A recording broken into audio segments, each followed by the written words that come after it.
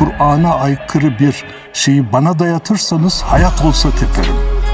Hayat olsa kabul etmem. Ya da haksızlık kimden gelirse gelsin, kime yönelik olursa olsun mazlumdan yana zalime karşı. Zalim babam da olsa, mazlum düşmanım da olsa. Benim ne yaptığımı Allah biliyor. Ben halkım için savaşıyorum. İnsanların ne düşündükleri umurumda değil. Neydi, ne oldu, nasıl gidiyor? Hala ne olduğunu tam anlayamadık. Oo, çok sert.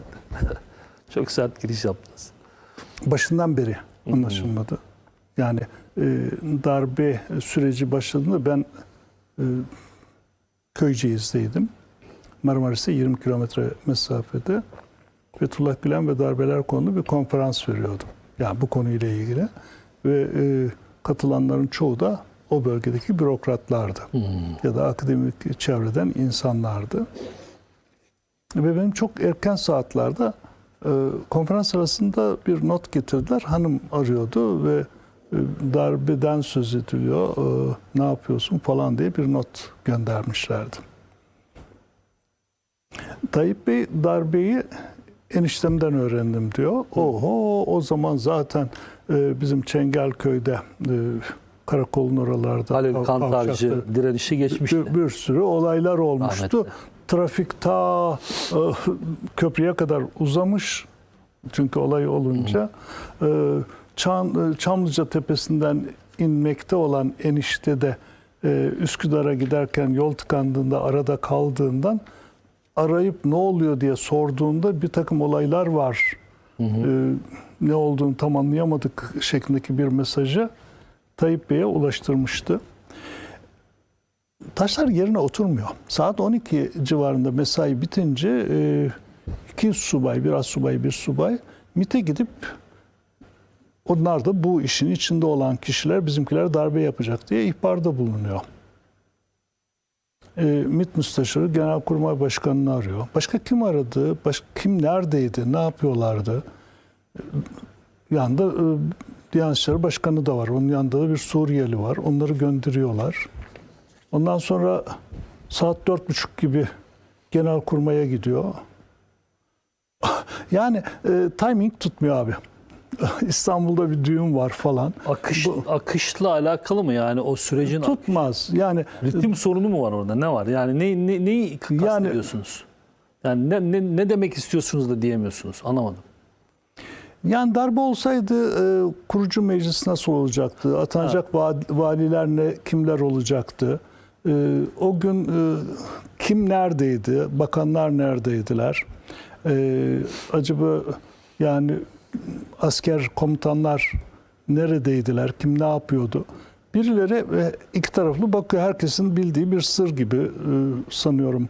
E, Yani bilinmeyen bir şey değildi. Semih Terzi niye üzerinde durulmadı? Semih Terzi darbe olacaksa niye o kadar geç kaldı?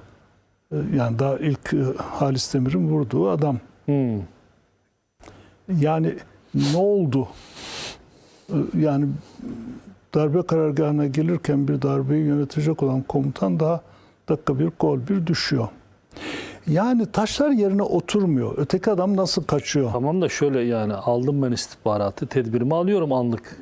Ya alındığı yok işte yani bir, bir sürü e, Aksakallı me- almış me- ki meclis- talimat veriyor. Meclis vuruluyor, İçişleri Bakanlığı boşaltılmış, emniyet vuruluyor, e, genelkurmay önünde çatışmalar var, köprüde çatışmalar var. Yani bu övünmek ve dövünmekten bir türlü kurtulamıyoruz. Olayları kronolojik olarak bizim tek tek tek sırayla ben Davutoğlu'yla yani birkaç ay önce görüştüğümde bunu da sordum. 15 Temmuz e, yani işte İstanbul Sözleşmesi'ni de sordum. Onun, e, bu 15 Temmuz'da da sordum. Bizden e, hemen sonrasında nerede olduğumuz, ne yaptığımız, ne bildiğimizin bildirilmesi istendi. Ondan e, bir gün sonra e, bu e, gönderilen yazı geri çekildi. Buna rağmen ben kendim bildiklerimi yazdım. Hatta kitap olarak bastırmış, onu da bana da verdi. Yani birçok kişi devlet yönetiminde bulunan kişiler e, hiçbir şey söylemediler. Sonuçta bir darbe var. Yani bunun örtülecek tarafı yok.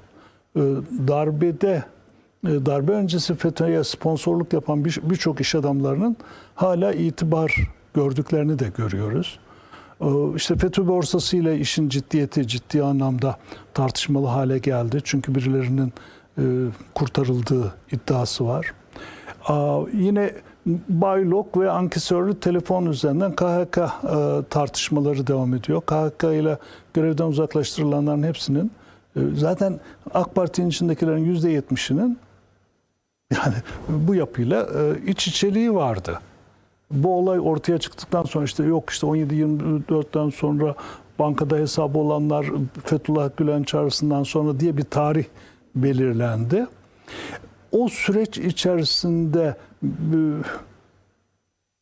birçok kişi bu ha- hareketle detayda ilişkisi olsa bile bir noktada bir dernek üyeliğinden, bir gazete, dergi aboneliğinden FETÖ'cülükle suçlanıp zevahirde, görüntüde sanki operasyon yapılıyormuş gibi her gün hala operasyon yapılıyor. Ama bir takım zaten kripto operasyon e, 15 Temmuz günü sahada olan cinayet işleyenler yakalandı hemen o süreç içerisinde bu işin kaybedildiğini anlayınca o günlerde birileri bir şekilde yatıyla, uçağıyla bir şekilde yurt dışına gitti. O karambol, karambol içinde. Arkasından bir takım kişiler kaçarken yakalandılar ya da ihbar edildiler ve onlar da ele geçti. Ama arkasından bu defa FETÖ'cüler kendilerini kurtarmak için gördüğüm kadarıyla kendileriyle dolaylı ilişkisi olan, zaman zaman eleştiren birilerini FETÖ'cü diye ihbar ederek kendilerini aklamaya çalıştılar. Ve bu toplumda çok ciddi anlamda bir kaygıya yol açtı. Yani herkesi FETÖ'cü yaptılar ama bir takım herkesin bildiği FETÖ'cüler dışarıda. Dışarıda, evet. Bir kısmı dışarı çıkartıldı. Bir kısmı ha yani bunların içinden gerçekten itirafçı olan ya da içeri girdikten sonra e, yani e, önemli bilgiler veren, yanıldığını anlayan kişiler de olabilir. Bir kısmı zaten bunlarla tamamen iç içe değildi. Ama sadece işte zengin olduğu için bunlarla beraber göründüğü, bunlara rağmen bürokraside bunlar var, diplomaside bunlar var, e, Amerika ile ilişkilerde bunlar var, Avrupa ile ilişkilerde bunlar var. Türk dünyasına ihracat yapacaksan bunlar var. E, Kaç tane ülkede? 140 ülkede örgütlüydüler. Bunlarla ilişkisi olmayan kimse mi kalmıştı sanki?